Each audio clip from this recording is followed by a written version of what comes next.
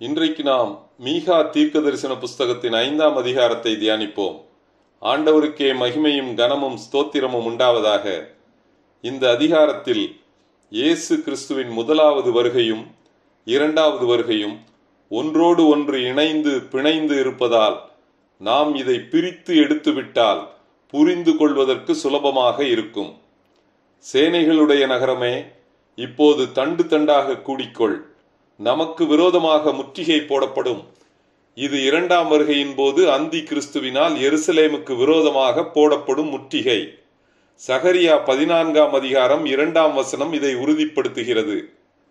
இஸ்ரவேலுடைய நியாயாதிபதியை கோலினாலே கன்னத்திலே அடிப்பார்கள்.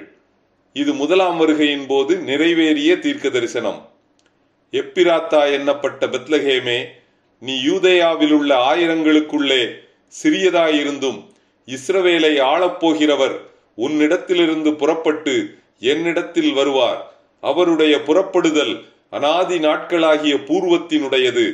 இயேசு கிறிஸ்து பெத்லகேமில் தோன்றுவார் என்பது நிறைவேறிய தீர்க்க தரிசனம் அவர் இஸ்ரவேலை ஆளுவார் என்பது இரண்டாம் வருகையின் போது நிறைவேறும்.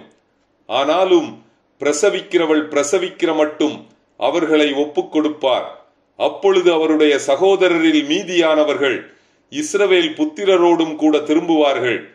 இது உபத்திரவ காலத்தின் மத்தியில் நிறைவேறும். வெளிப்படுத்தின விசேஷம் பன்னிரெண்டாம் அதிகாரம் இதை உறுதிப்படுத்துகிறது. அவர் நின்று கொண்டு கர்த்தருடைய பலத்தோடும் தம்முடைய தேவனாகிய கர்த்தருடைய நாமத்தின் மகத்துவத்தோடும் மேய்ப்பார். இது இரண்டாம் வருகையின் போது நிறைவேறும். எசேக்கியல் முப்பத்தி ஆறாவது அதிகாரம் இருபத்தி நான்கு முதல் முப்பத்தி எட்டு வரை உள்ள வசனங்கள் இதை உறுதிப்படுத்துகிறது. ஆகையால் அவர்கள் நிலைத்திருப்பார்கள். அவர் இனி பூமியின் எல்லைகள் பரியந்தமும் மகிமைப்படுவார். இவரே சமாதான காரணர். அசீரியன் நம்முடைய தேசத்திலே வரும்போதும் நம்முடைய அரண்மனைகளை மிதிக்கும் போதும் ஏழு மெய்ப்பரையும் மனுஷரில் எட்டு அதிபதிகளையும் அவனுக்கு விரோதமாக நிறுத்துவேன். மெய்ப்பர்கள் என்பது ஆசாரியர்களுக்கு பொருந்தும். அதிபதிகள் என்பது ராஜாக்களுக்கு பொருந்தும். இவர்கள் அசீரியா தேசத்தையும் நிம்ரோதின் தேசத்தையும் அதனுடைய வாசல்களுக்கு உட்புறமாக பட்டயத்திற்கு இரையாக்குவார்கள். நிம்ரோதின் தேசம் என்பது பாபிலோன் தேசம். அசீரியன் நம்முடைய தேசத்தில் வரும்போதும் நம்முடைய எல்லைகளை மிதிக்கும் போதும் அவனுக்கு நம்மை தப்புவிப்பார். அதாவது அசீரிய ராஜாக்களாகிய திக்லாத் பிலேசர் சர்கோன் சல்மனாசேர் என்பவர்கள் இஸ்ரவேல் ஜனங்களை அசீரியாவுக்கு சிறைப்பிடித்து சென்றார்கள். இவர்கள் ஆண்டவருடைய கோபத்தின் கோல் என்றும் அவர் கையில் இருக்கும் சினத்தின் தண்டாயுதம் என்றும் ஏசாயா பத்தாம் அதிகாரம் ஐந்தாம் வசனத்தில் குறிப்பிடுகிறார். அதாவது இஸ்ரவேல் ஜனங்களை சீர்படுத்துவதற்காகவும் நெறிப்படுத்துவதற்காகவும் ஆண்டவர் அசீரியனை பயன்படுத்தினார். ஆனால் அசீரியனோ அதை மனதில் கொள்ளாமல் தன் பராக்கிரமத்தினால் இஸ்ரவேலரை சிறைப்பிடித்ததாக எண்ணிக்கொண்டான். இன்று அந்த அசீரியன் வெளிப்படுத்தின விசேஷம் பதினேழாம் அதிகாரத்தில் காணப்படும் பாபிலோனிய ஸ்திரீயாக செயல்படுகிறான்.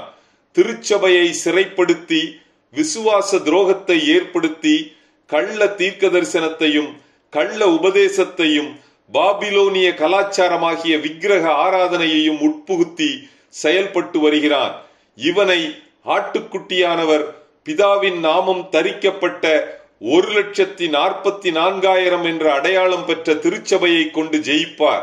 இது உபத்திரவ காலத்தின் இரண்டாவது மூன்றரை ஆண்டுகளின் போது நிறைவேறும்.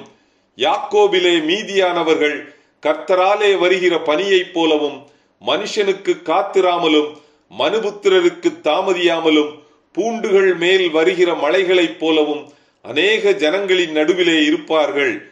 யாக்கோபிலே மீதியானவர்கள் சிங்கம் காட்டு மிருகங்களுக்குள்ளே இருக்கிறதற்கு சமானமாகவும் கடந்து போய் மிதித்து தப்புவிப்பார் இல்லாமலும் பீறிப்போடுகிற பாலசிங்கம் ஆட்டு மந்தைகளுக்குள்ளே இருக்கிறதற்கு சமானமாகவும் ஜாதிகளுக்குள் அநேக ஜனங்களின் நடுவிலே இருப்பார்கள்.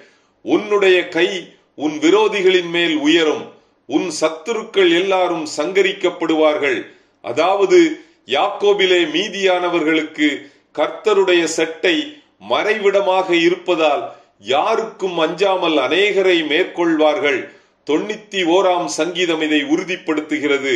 அந்நாளிலே கர்த்தர் இஸ்ரவேலின் படைபலத்தினால் யாக்கோபிலே மீதியானவர்களை ரட்சிக்காமல் தன் மகிமையின் பராக்கிரமத்தினால் ரட்சிப்பார் ஏசாயா பதினேழாம் அதிகாரம் இதை உறுதிப்படுத்துகிறது.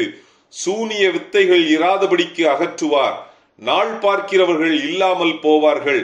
சுரூபங்களும் சிலைகளும் விக்கிரக தோப்புகளும் இராதபடிக்கு நிர்மூலமாக்குவார். சகரியா பதிமூன்றாவது அதிகாரம் இரண்டாவது வசனம் இதை உறுதிப்படுத்துகிறது.